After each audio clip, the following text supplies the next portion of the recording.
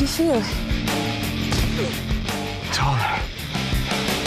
I was really excited to play Steve Rogers. Something about Captain America just kind of felt like that's the guy you want to be.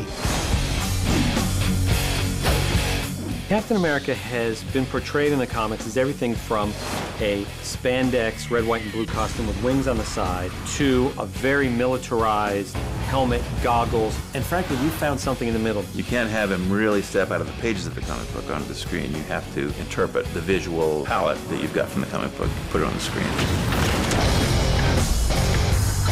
The suit. I went through a lot of different stages, and I would just kind of come in every couple weeks and try a new outfit on, and they would measure and cut, and I'd kind of stay out of it, and, and then finally they got it where they wanted it, and I think it looks fantastic.